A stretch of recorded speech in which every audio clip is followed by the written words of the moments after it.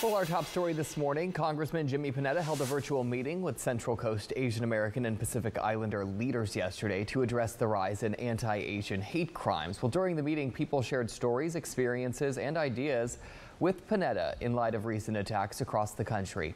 Well, Panetta talked about his efforts to curb hate crimes at the federal level. Well, attendees included people who were forced to stay at internment camps during World War II, activists, professors, and those who have experienced racist sentiments.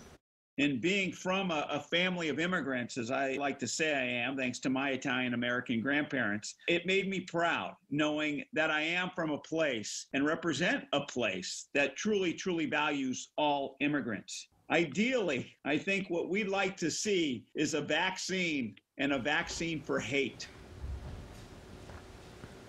Panetta highlighted several measures happening at the congressional level. One piece of legislation is called the COVID-19 Hate Crimes Act. It'll enhance federal, state, and local responses to hate crimes related to the pandemic.